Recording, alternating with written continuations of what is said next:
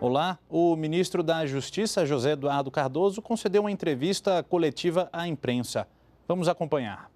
Há manifestações que têm sido feitas por parlamentares da oposição, no sentido de que autoridades do governo tenham agido para incluir ou para retirar nomes da lista apresentada pelo senhor Procurador-Geral da República no bojo das investigações da Operação Lava Jato. Quero dizer que é inaceitável esse tipo de afirmação. O governo conhece muito claramente o campo das suas atribuições. E é nessa perspectiva que eu posso afirmar, em alto e bom som, que se no passado governos agiam desta maneira, faziam pressões ou utilizavam expedientes que fugiam à legalidade, para afastar investigados ou para incluí-los, não nos meçam por réguas antigas. Não nos meçam pelo que já foi. O governo tem uma clara posição na linha de respeitar especificamente suas atividades. E, portanto, é inaceitável que se pretenda utilizar uma retórica política para que fatos que foram narrados em procedimentos de delações premiadas sejam mascarados e pessoas tentem se esconder através daquilo que efetivamente acontece. Então, portanto, quero manifestar meu claro e indignado repúdio a afirmações de que nós tenhamos tentado influenciar, agir sobre aquilo que é decisão exclusiva da Procuradoria-Geral da República. E, portanto, Repito mais uma vez: não nos meçam por réguas passadas. Se no passado governos fizeram isto, este governo não faz, porque sabe muito bem qual é a sua atribuição e sabe respeitar os papéis que são definidos na Constituição Federal. Basicamente, esta é a afirmação para repudiar estas manifestações que realmente são inaceitáveis e visivelmente retóricas. Porque se um delator fala certas coisas, cabe ao Ministério Público avaliar o que deve fazer em relação a elas. Imaginar que esses fatos pudessem ter sido incluídos por desejo governamental ou que o governo fizesse pressões para que certas medidas fossem, fossem tomadas é absolutamente pueril. Repito, se fizeram isso no passado, hoje isso não se faz mais senador Estou me referindo à fala de parlamentares oposicionistas, eu não vou nominar ninguém, no sentido de que o governo teria agido para incluir nomes da oposição na lista do doutor Rodrigo Janot. Acho isso inaceitável, acho deplorável que, a partir de fatos que foram narrados numa delação premiada, se pretende, pretende utilizar uma retórica política para se dizer que aquilo que foi decidido, na verdade, foi objeto de todo um conjunto de situações que não condiziam com ações eh, governamentais. É lamentável e triste que se utilizem expedientes desta natureza para que se esconda as verdades ou situações através dos fatos que foram narrados por um delator eh, nos termos da legislação em vigor. Pois não.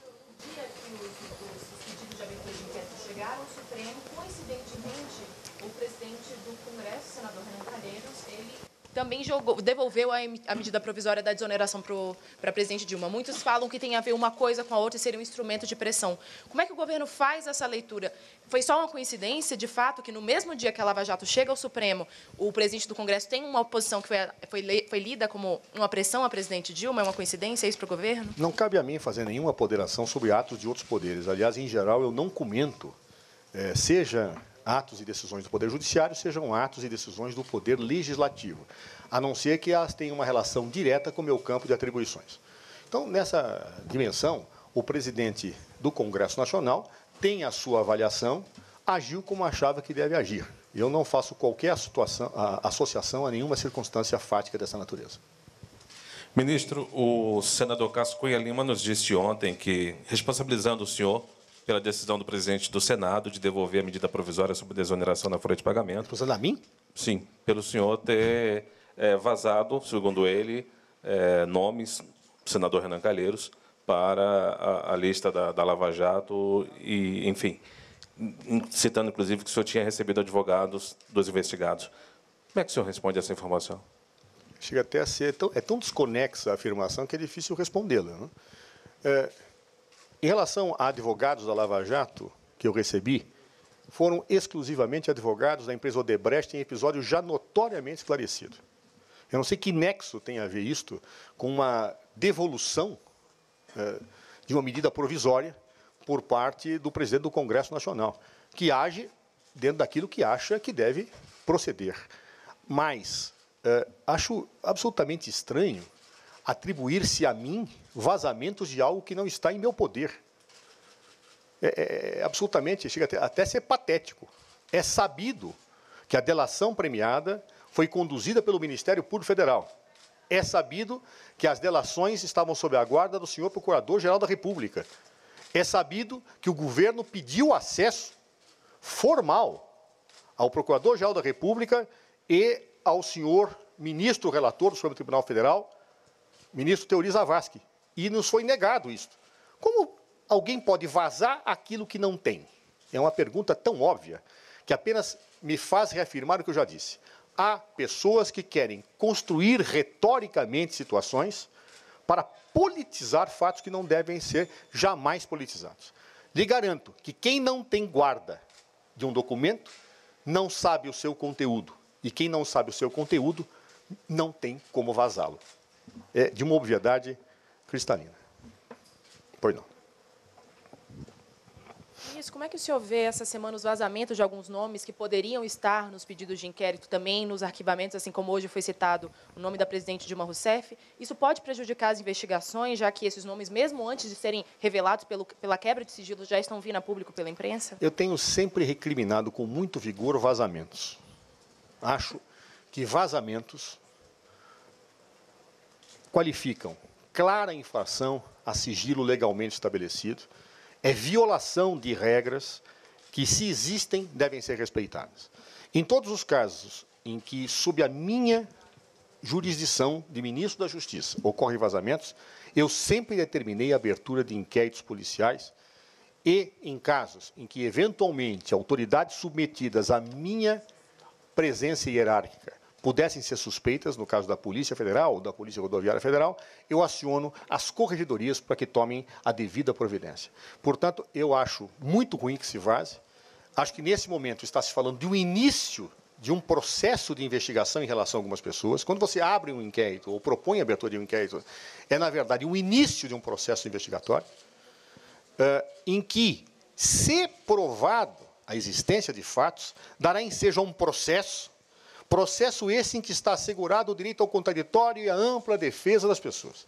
Portanto, certos vazamentos ou certas condenações a priori contrariam os princípios básicos do Estado de Direito. E eu sempre manifestei contrariamente a esse tipo de situação. Sou contra vazamentos, acho que são atos ilícitos, nós não podemos permitir isto e nem permitir que antes de uma investigação, ou mesmo antes do exercício do direito ao contraditório e à ampla defesa, pessoas sejam execradas, repudiadas, porque uh, a honra das pessoas ela deve ser sempre preservada. Né? Se mais tarde forem condenadas, que se cumpra, que se puna com rigor. Mas enquanto não existe a possibilidade da defesa acho que essa situação não pode ser tida como uh, adequada a quem defende os princípios de um Estado democrático de direito. Ministro Felipe pois Igreja, não. da Rádio CBN, o senhor falou que é, repudia esses, os, os vazamentos, mas, enfim, ontem o ministro Pepe Vargas falou que seria interessante uh, o fim do sigilo. Queria saber a opinião do senhor em relação a essa questão. É interessante também? Veja, uma coisa é vazamento Outra coisa é nós termos uma decisão judicial que levanta o sigilo. Claro, são coisas diferentes. O vazamento significa o quê? Algo que está sob sigilo e que efetivamente alguém ilegalmente noticia. Algo que pode corresponder à verdade ou que não corresponde à verdade. O levantar do sigilo é uma decisão judicial de um juiz que, avaliando os fatos que tem diante de si, pondera se é necessário manter-se o sigilo para boa consecução das investigações, ou se é melhor que efetivamente, de imediato, porque não atrapalhará as investigações, todos tenham ciência daquilo que é apurado. Eu não vou emitir opinião a respeito por duas razões. Primeiro, que, como já disse, como ministro da Justiça, acho é, inconveniente que quem tenha que zelar pela defesa do Estado de Direito se pronuncie por atos de outro poder. Em segundo lugar, eu não conheço os termos da delação premiada. Eu não sei os fatos que lá estão narrados. Eu não sei se o levantar de um sigilo favorece ou prejudica a investigação. Tenho certeza que o ministro Teori Zavascki, uma pessoa de inegável probidade e descortínio jurídico, saberá o que decidir e o que ele decidir seguramente será o melhor. Ministro, Ministro, qual é a avaliação do governo agora nessa situação com os nomes como o presidente da Câmara dos Deputados e o presidente do Senado Federal listados, enfim, envolvidos nesta lista? Como, qual é a avaliação do governo em relação à situação política diante disso? Veja, a situação política, ela não, não deve ter outros olhos que não sejam a análise daquilo que acontece. É, eu não sei ainda quem está submetido a uma investigação e quem não está. Eu tenho visto notícias pela imprensa. Eu não tenho ciência de quem foi mencionado e por que na delação premiada. Não sei se as notícias divulgadas pela imprensa são verdadeiras ou são falsas. Não tenho condições de. Acho até curioso e vejo algumas pessoas comemorando arquivamentos que eu não sei se efetivamente ocorreram. Eu, pelo menos, não sei. Né? Se alguém comemora alguma coisa antes de efetivamente ter ciência pública do que acontece, tem que explicar por que comemora. Claro? Eu não comemoro, não aplaudo, eu não sei o que está lá. Então, qualquer comentário que eu possa falar sobre notícias, é, ele revelaria um juízo de realidade que eu desconheço. Não bastasse isso, eu quero frisar. Pouco importa, no caso, quais são os nomes que estão envolvidos se são da situação, se são da oposição.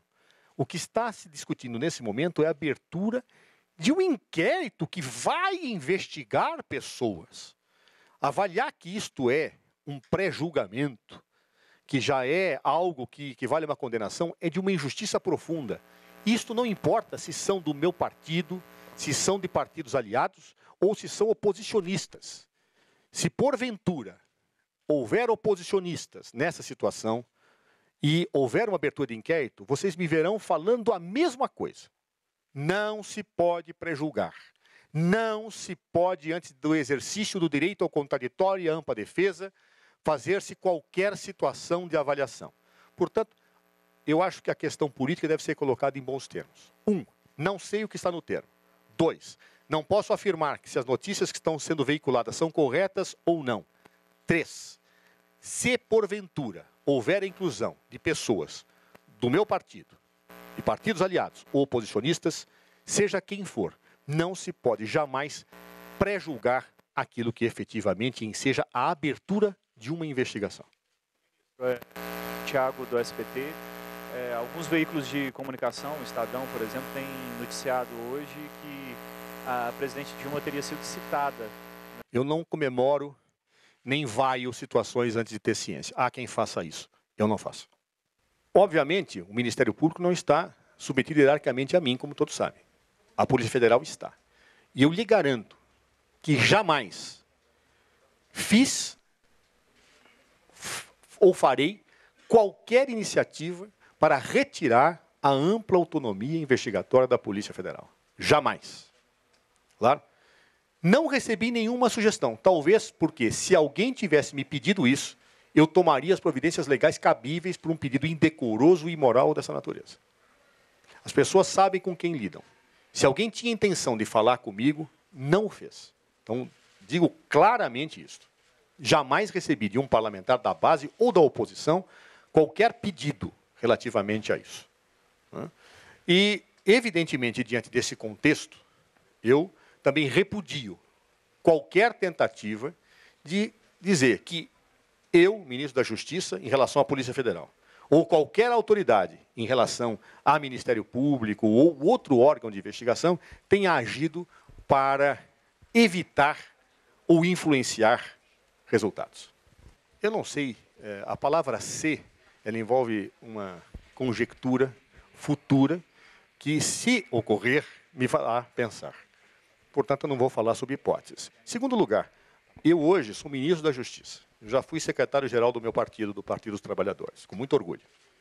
Já fui é, dirigente do meu partido. Fosse eu dirigente, eu estaria opinando especificamente sobre as questões partidárias. Nesse momento, meu papel não é de dirigente partidário. Meu papel é de ministro de Estado da Justiça, que tem que zelar pela autonomia dos órgãos que me são subordinados no exercício de investigações, que tem que agir quando ocorram ilegalidades e que deve repudiar toda e qualquer intenção de se dizer que nós fizemos aquilo que não nos fizemos. Repito, querem nos medir por réguas passadas. Não façam isso, porque a nossa régua é bem diferente. A nossa régua é a régua do respeito às investigações, que cada um cumpra o seu papel, responda pelas suas atribuições. Da parte do Ministério da Justiça, jamais haverá, ou houve, qualquer tentativa de influenciar as investigações. E acho, sinceramente, que assim deve ser.